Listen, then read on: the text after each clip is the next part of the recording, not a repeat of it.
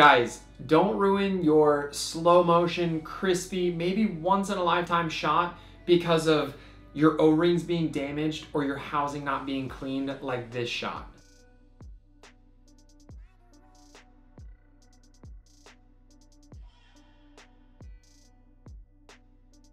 That to me is heartbreak, and yet so easy to avoid. Following this guide, we're gonna prevent O-rings from ever breaking, or hopefully your housing ever turning into looking like this, where half the buttons don't work, there's tape on the handles, and nearly every button has watermarks on it. Hello friends, Josh Munoz here, professional underwater photographer and freediving instructor. In today's video, we are going to go over how to properly care for your underwater housing, how to properly clean the housing. We're gonna look at maintaining your O-rings, setting up the camera inside your housing, caring for your camera body, and how to properly store your gear. The way that you care for your gear is going to significantly increase its life. There are some really important steps you need to take every time your underwater housing gets wet. There are some really important things you need to do at the end of every week or two weeks, depending on how much you use your housing. And there's this super important step that you should be doing every year to two years with your housing that we're gonna look at at the end of this video. So let's get into it.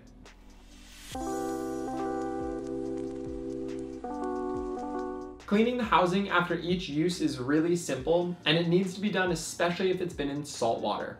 To start, we're gonna just spray down the housing with fresh water. Better yet, let it actually soak in a large bucket or bin for several minutes. The best practice is to press every single button while you're rinsing your housing or while it's soaking in fresh water to ensure that no water gets stuck underneath these springs and over time these buttons won't become sticky. After rinsing the housing, we need to start getting the housing completely dry. So starting with a towel is great, but then next you do want to start using an air duster and spray in between every single button or basically any place you think water can get stuck. If you don't remove water around these buttons, the springs over time will become sticky and it's terrible for the housing to be stored if there is still water inside those areas. You will be surprised at how much water can get trapped inside. After this, I try and set my housing inside, preferably under a fan to let it continue drying before we start to open up the housing to retrieve the camera. But the most important thing is not letting it dry in the sun.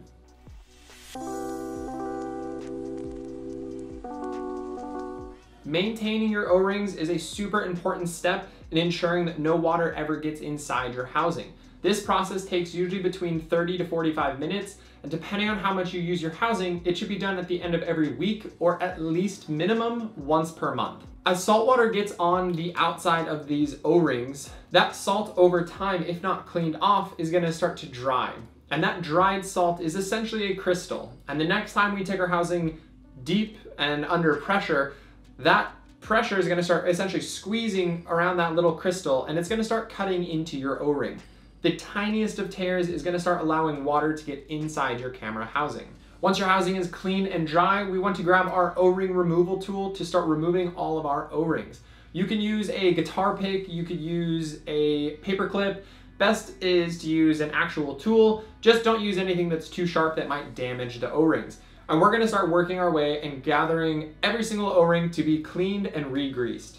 Okay, once you've got all your O-rings removed, we are going to run these under fresh water, trying to remove any gunk that might be left on them, getting all the salt off, and removing all the old grease that has been on them. Set them off to the side, preferably in a bowl of water once you're done rinsing, and we're gonna move on to cleaning out the housing to prepare to put the O-rings back inside. To clean our housing, what we want to do is use a paper towel or some form of like a lint-free rag, and we want to start using this paper towel and going inside all the grooves and edges that our O-rings have previously sat in, removing any old grease, and getting rid of any hair or dust that might be inside. Okay, once our housing is cleaned off, we are going to go back to our O-rings. We're gonna grab some O-ring grease and we're gonna start reapplying some new grease to each O-ring.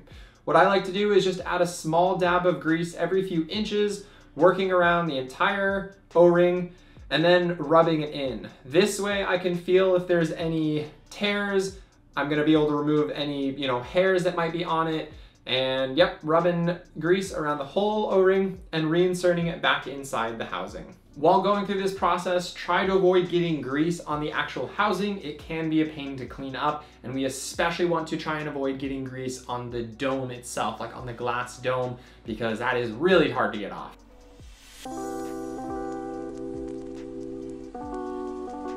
While setting up your camera, maybe the lens, or especially the dome, there are a few things we want to try and avoid. The biggest being not leaving the dome open and exposed to dust, hairs to get inside this dome because that is gonna show up on images. It's gonna be especially important with our camera and our lens. Again, not leaving these open and exposed while we're working with our gear always trying to leave them closed off or at least with a cap on and covered. When it comes time to removing my lens or switching out lenses, I basically always try and do it with my camera body actually facing completely down so that I'm never risking getting more dust or hairs inside my camera sensor. And while I'm putting together my underwater housing, I always try and do this to be able to keep my dome facing down so that again, I'm not allowing for any more dust or hairs to get inside the dome.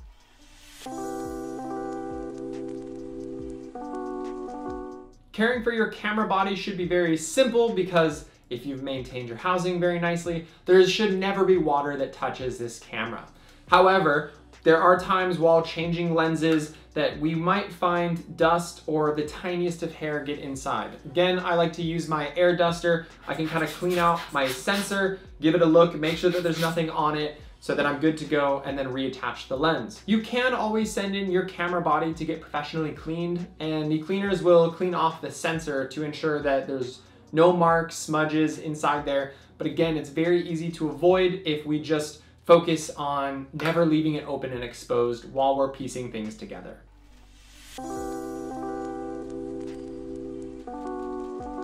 To properly store your gear, I would recommend keeping your gear stored in either a Pelican case or a dry cabinet where you can control the humidity levels. If stored inside of a Pelican case, you need to ensure that your housing is 100% dried off so that you're not leaving it locked inside there with water in or around the housing. And I would even recommend adding handfuls of these silica gel packets to just pick up any extra moisture that might be inside the housing. A dry cabinet, like a humidity controlled cabinet, is gonna be maybe slightly more expensive, but it's gonna be much more effective.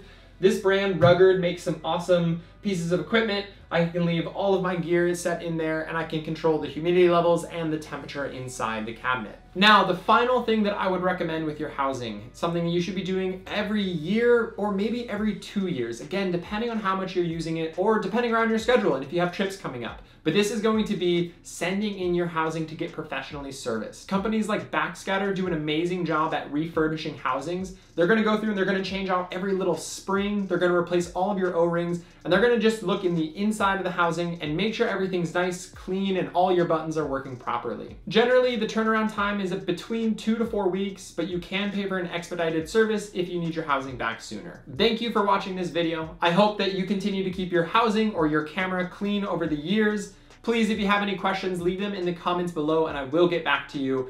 In the meantime, happy shooting.